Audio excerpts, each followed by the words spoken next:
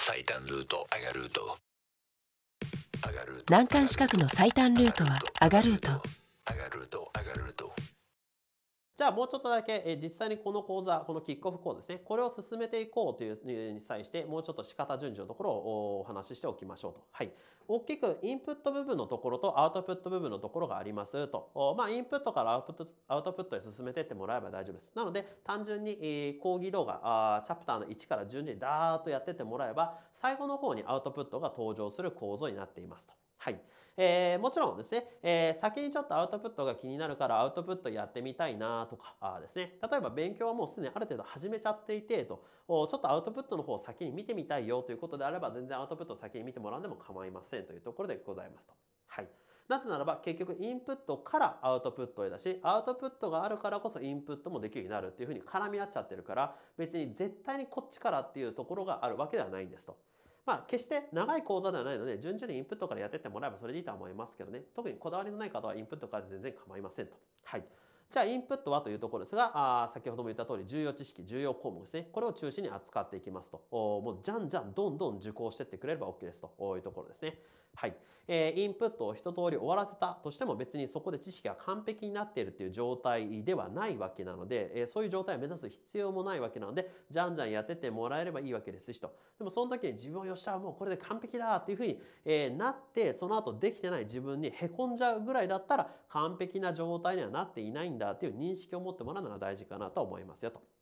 はい。それに対して今度はアウトプットの方ですけれども、こちらはですね、大きく2問扱います。一つは事件解決型、具体的事案型というふうに載ってるやつが1問。いわゆる事例型の問題です。はい。それに対してもう一つが一行問題型、説明問題型と呼ばれる問題、いわゆる一行問題と呼ばれるやつ。はい。えー前者の方ですね、えーというのは本番、つまり予備試験だったり司法試験だったりという本番でも実際に出題されるタイプの問題になってくるので、あこういう事例みたいなやつを解けるようになっていく必要があるんだなというふうに思ってくれれば OK ですと。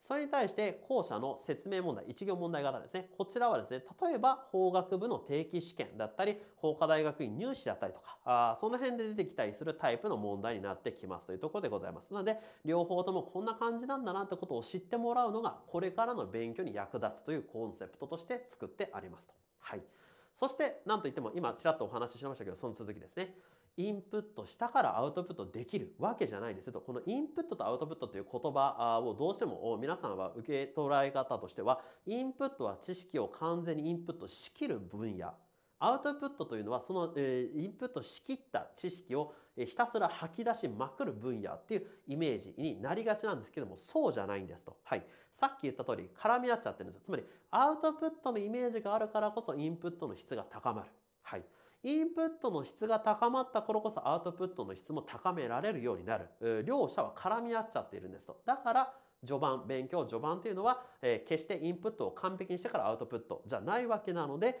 えーインプットが終わった後にアウトプットできない、全然知識覚えてないじゃん、自分はダメだというふうにならないようにしてもらうのがすごく大事だと思いますと。はい。これも結構そうい方多いですよというところでございますと。はい。アウトプットの方というのはですね、大きく分けるとですね、序盤のアウトプット、アウトプット初期ですね、えーというものと、そこからさらに先に進んでいった後のそれ以降のアウトプットというふうに大きく分かれてくるんじゃないかなというふうに思っておりますと。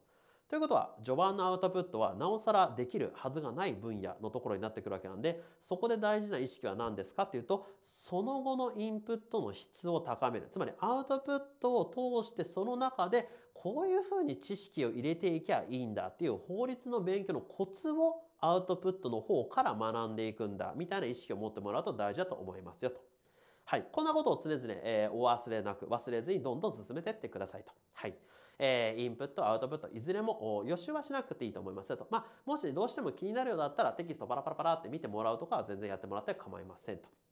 はい。えーじゃあ復習はどうですかっていうと、復習の方はむしろやりたいんだったら復習の方、予習よりは復習の方をやってもらいたいかなと思いますけれども、その復習っていうのもですね、えー決してがっつりやりすぎなくていいと思います。軽く読み返すくらいでいいと思いますよと。おなぜならばですね、えーその続きの復習を一生懸命やったんで、今日は全然先に進みませんでしたっていうふうになってほしくないからですと。はい。先の知識があるからこそ目の前の話がわかるっていうシーンもあるんです。全体が絡み合っちゃっているからなんですということなんで、復習してみてようわからんなこれじゃあ先に進むのやめようかとかようわからんなってなってるせいで復習にめっちゃ時間かかっちゃいましたみたいなそういうシーンを多く作ってほしくないですというところでございます。特にキックオフっていう導入としての講座なのでなおさらもう予習なんか一切しないわ復習もさ一切しないわじゃんじゃん先進みますわぐらいの勢いでも構いませんというところでございますと。はい。そして何といってもこれですね。分かろうとするという精神が大事なんですよ。つまり分からなくても OK ですと。分からないのが当たり前だからですというところですね。なので常に分かろうとする姿勢で勉強し続けるっていうことが大事になってきます。これがきっついんですね。なぜならばその下の状況になるからです。はい。なんか分かったかもって言って、例えばアウトプットにすると、いや、やっぱできないじゃん。全然ダメじゃんっていうふうになると。で、いやじゃあインプットに戻るかっつってインプットしてみてなるほどそういうことかということでさらに分かった気がするよっしゃって思うんですけれどもですね、えー、結局ですね、えー、その続きに来るとやっぱりできるできないっていうシーンにできますとなのでそこからまた少しできるようになった気がするもっと分かった気がするようやくできるようになってきたっていうふうにだんだんだんだんできるようになっていくわけなんでとこの積み重ねがまさしく勉強し続ける繰り返しの勉強だということになってきますと。はいただそのためにはただ漫然としていてもずっとなんとなく分かった気がするっていうのが続いていくだけになってしまうのでそうじゃなくてさらに分かった気が少しできるようになった気があもっと分かった気がっていうふうになっていくためには常々その場その場で、えー、今一生懸命分かろうとしていますっていう姿勢をひたすら維持するのは大事です。そこの気を抜いた瞬間に成長は止まっちゃうなという感じです。はい。これがきついですね。分かろうとする。つまり結局は分からないって終わり方をするシーンが多いのでこれを苦しいわけなんですけどもその苦しいのと何とかかんとかうまくやってってもらうといいんじゃないかなというところでございますと。はい。この辺も本当にいいですね。受講生さんと接していると多いですね。全然できるようにならないんですけど本当ですかと。いうところなんですけれどもそうなんですと、はい、そういうもんなんですと。いうところは常々念頭に置いといてくださいと。はい、であとは具体的な進め方のところですね。それこそ例えば法学部だったり法科大学院これから入学しますよとかあもうすでに、えー、入学して1年以上経ってますよっていう方はそこでの講義に合わせて受講するんだとかがありえますよねと。法学部や法科大学院の講義に合わせて講義のない科目も含めてどんどん受講していってもらいたいですと。講義のない科目も含めて受講してもらいたいのは全体が絡み合っているからなんだっていう認識を持ってもらいたいからですと。なので例えば法学部1年にこれから入りますよみたいな1年次在籍の方で、えー、実際に法学部の授業で憲法民法刑法の講義がありますよだったらですねまずはじゃあこの講座の県民刑の方を先に聞いてみようかなとかをやってもらうといいと思います。ただその一方で忘れてほしくないのは他の講義になってない科目もセットで聞いてってもらいたいですと。まあ例えば定期試験がだいたい7月の中旬以降あたりにあるでしょうから、えー、それとのことを考えるとですね、えー、まず先に、えー、県民刑の勉強をスタートさせちゃって、まあなるべく余裕を持ったタイミングで終わらせちゃって、まあ、それと同時でも構いませんし、こっちがある程度終わってきたところからあ残りの科目をやってってもらうんで構わないかなと思いますが、これも終わるのが定期試験ギリギリのところじゃなくって、早めに終わるようなぐらいに設定してもらっちゃって、で、えー、ここで、えー、さらに定期試験対策もがっつりやれるようにみたいな勉強計画を立ててもらうといいと思いますよと。はい。あとは聞く順序ですね。聞く順序。はい。県民刑って書いたんで憲法から聞けばいいかなというふうに思うところなんですけれどもこれ実際講義の中でも触れてるんですが憲法は難しいです難しいイメージがしにくいです。抽象論がずっと続くんで。はい。なので勉強のしやすさイメージのしやすさっていう意味では民法刑法あたりから始めてもらう方がいいんじゃないかなと思います。実際ですね、このカリキュラム本体のカリキュラムも民法から始まる設計になってると思います。はい。えー、なので民法から始めてってもらって例えば民法刑法憲法の順に聞こうかなとかっていう形で意識してもらうといいんじゃないかなと。はい。えー、残りの科目の方なんかは例えば商法と民訴ですね。ここの順序も、えー、まとめて56っていうふうに書いた通り順番変えてもらうんで構わないかなと思います。さっき言った通り民法と民訴が実態と手続きっていう関係にあるので民法と近いところに民訴が来る方がいいかなっていうふうになると先に民訴聞いてから商法でも全然いいと思います。はい、こんな感じですね。えー、もちろん、ケースの方を、刑法終わったから先にケース聞いとこうとかでも、それはそれで全然構わないかなと思いますよと。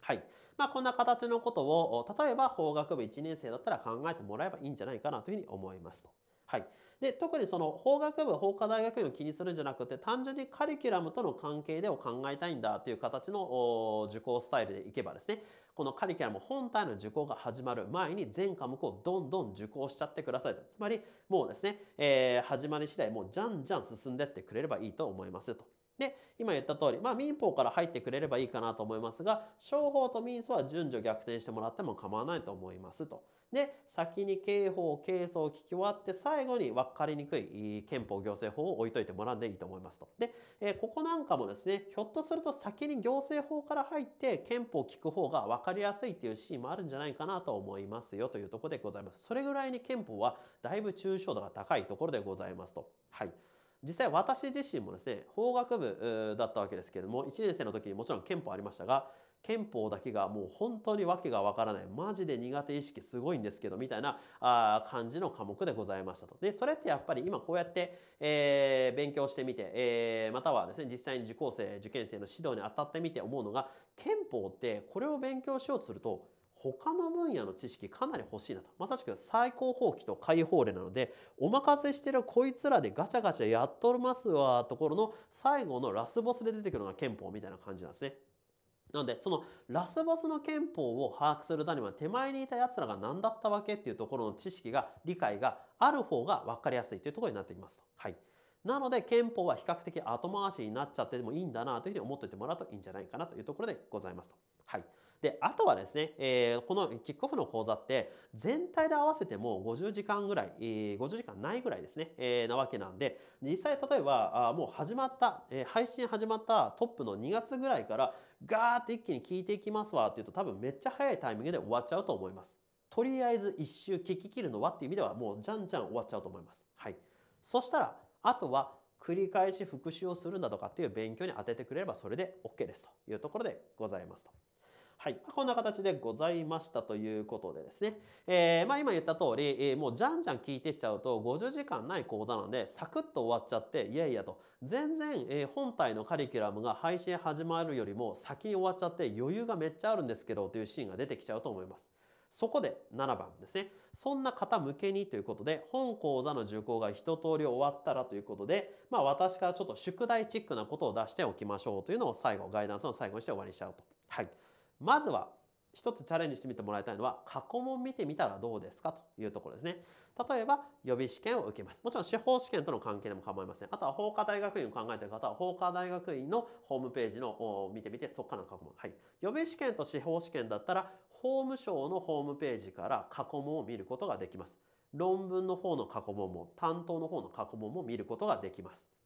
はい。えー法科大学院だったら各法科大学院のホームページから過去問が見れるようになっている法科大学院であれば見ることができます。はい。そこで実際にですね、今自分がこれからこんなことを勉強していかなきゃいけないのよっていうふうに教わった話たちですね。この話たちが実際に問題文という形で、えーだったらどう登場するのかというところを知っておくというのが大事です。はい。敵を知るんですと。まさしくただここで大事にしておいたのは見ても見てみ見てみるでいいんですと。はい。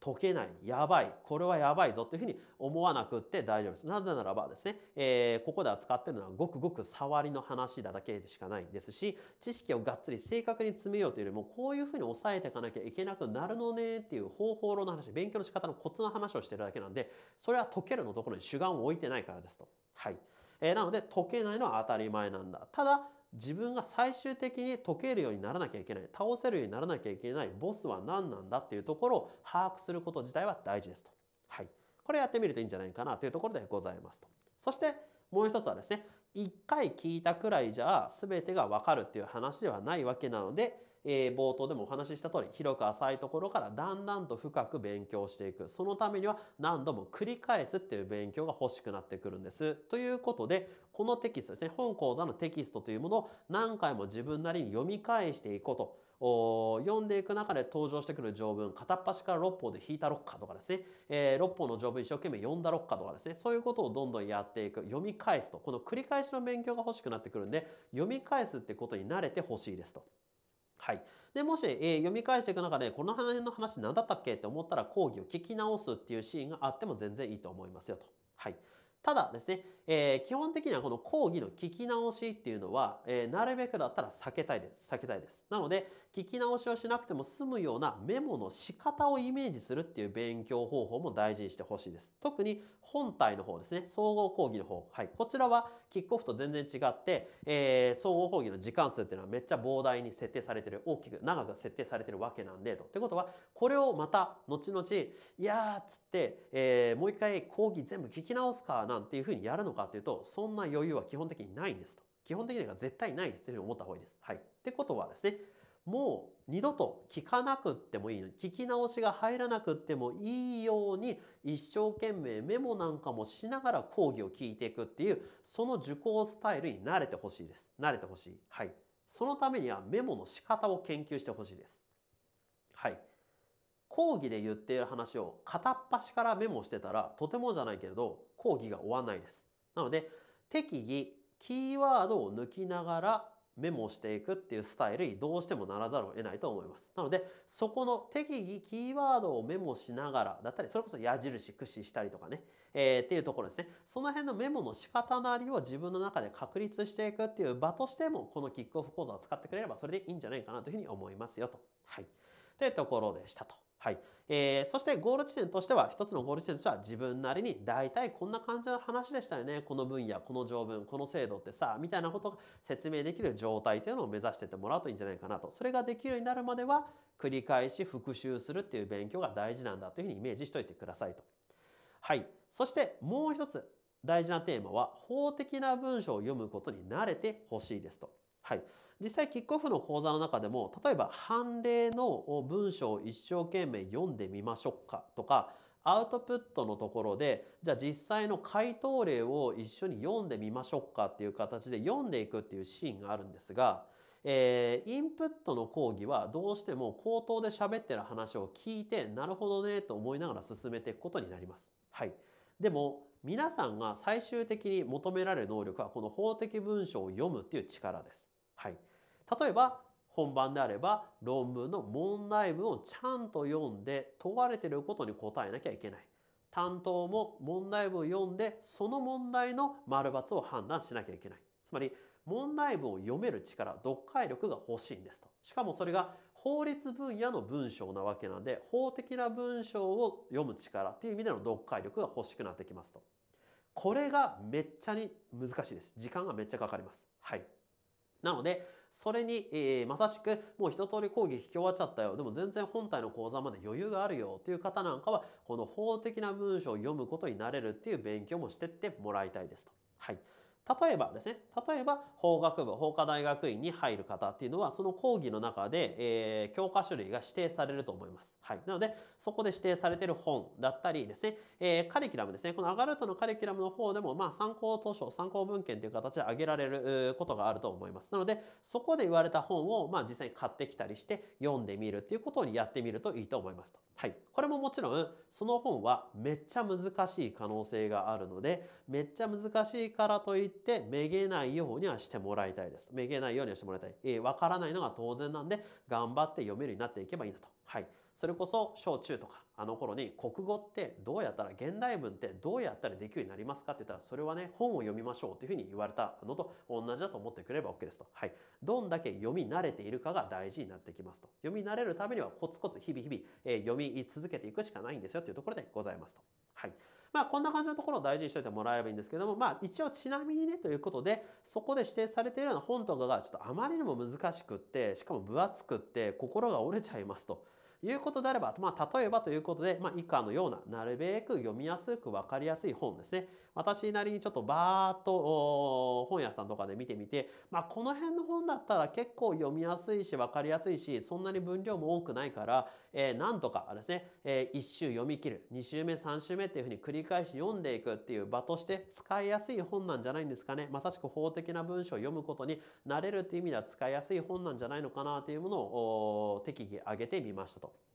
はい。えー例えば民法でいけばあですね、えーこの松下さん松下先生ですね。のオリエンテーション民法っていうやつですね。はい、えーこれなんかはすごくいいんじゃないかなというふうに思いますと。法学の基礎っていう分野があるんですけどもそこでも触れるような基本的な用語の説明なんかもバンバン、え定義が登場してくるので言葉の意味を正確に抑えようという本としても使えると思いますと。はい。ちょっとネックなのはサイズはちっちゃめっちゃちっちゃめなんですがページ数がちょっと多いですね。えー読みやすいんでじゃんじゃん読めるかなとは思うんですけれどもちょっとさすがにそれでもきついっていう方はもう一つこの民法入門という本の方でもいいかもねというところでございます。ただできることなら1冊目の方をおすすめしたいなとこれが、えーまず1回読み切れたらそれはそれで1個自信につなげてってもらってもいいんじゃないかなというところでございますと。はい。えー次は商法ですね。商法ということで、えーとまあ、商法はですね、どっちかというと大体皆さんがですね、つまずくのはもう会社法を勉強することになるんですが、会社法という法律ですね。これを勉強することになるんですが、一体何が起こってるかが全く分かりません。イメージが湧きませんっていう形で、特に学生の方はそこでつまずくイメージですと。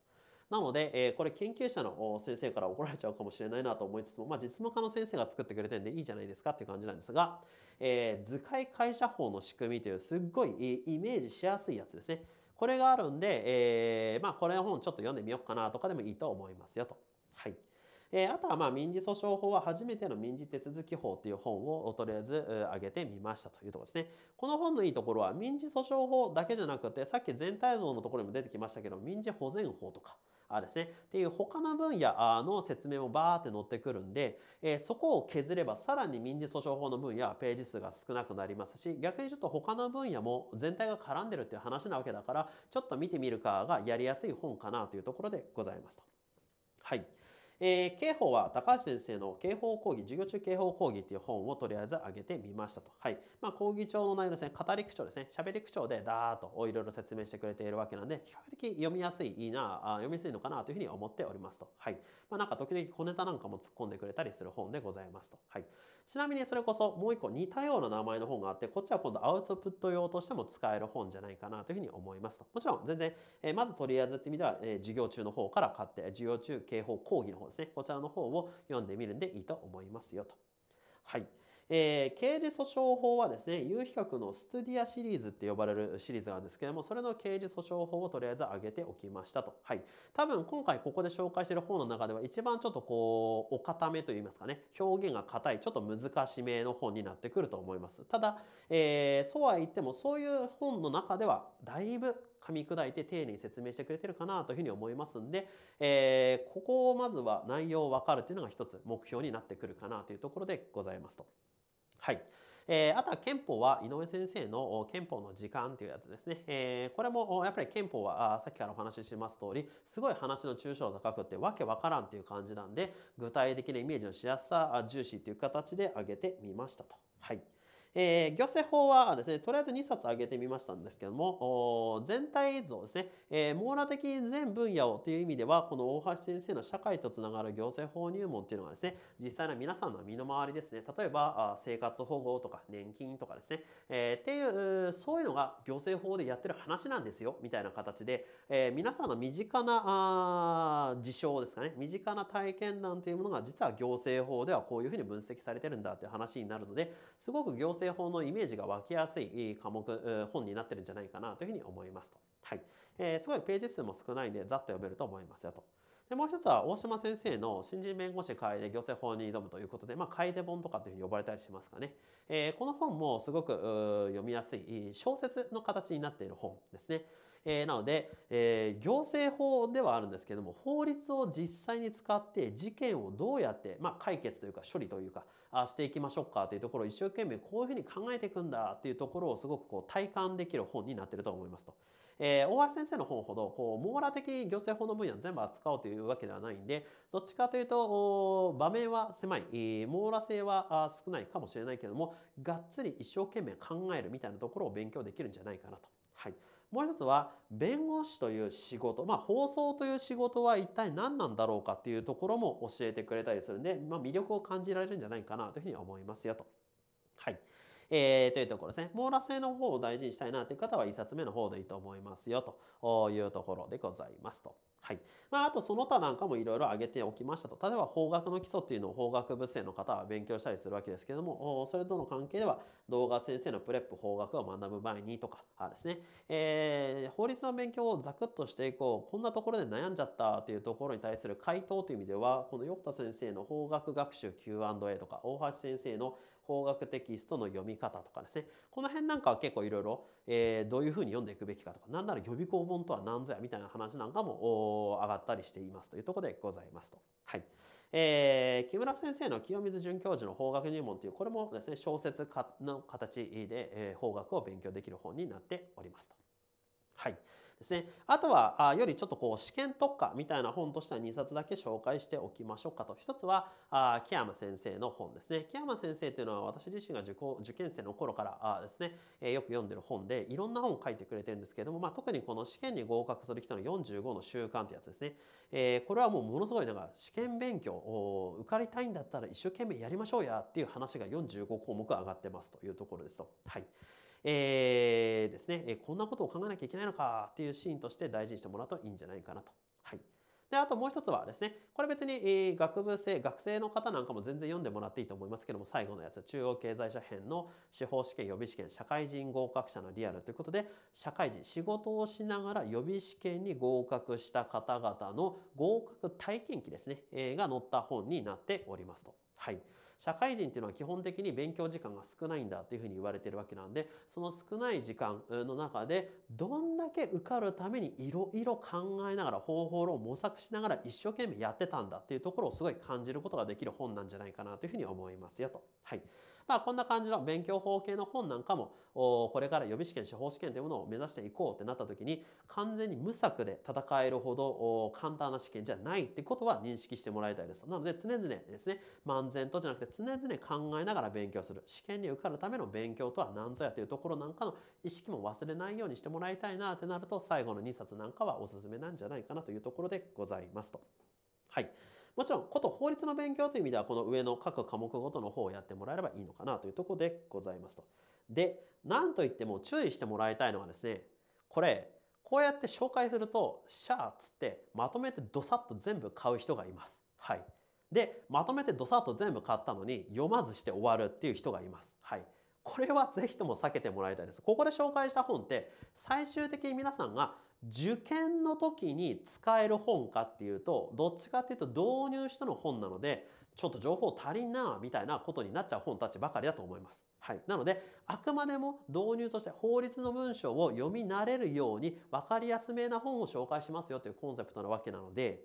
まず一冊自分の気に入った科目から買ってもらうとかで全然構わないです。構わないです。でしかも読み慣れてほしいのでそして繰り返し勉強するってことに慣れてもらいたいので例えば民法のオリエンテーション民法をまず買ってきましただったらそのオリエンテーション民法を3週読み切ったら次の科目の本買おうかなを考えてくれるぐらいでいいです。ですし結局3週読み切ることなく本体の講座の配信が始まっちゃいましただったらもう別に他の科目買いましょうとかオリエンテーション民法のさらに続きを読みましょうとかやらなくていいです。もうじゃんじゃん総合講義の受講を進めてってくれれば OK です。はい。これご注意ください。これ多分今後もずっと出てきます。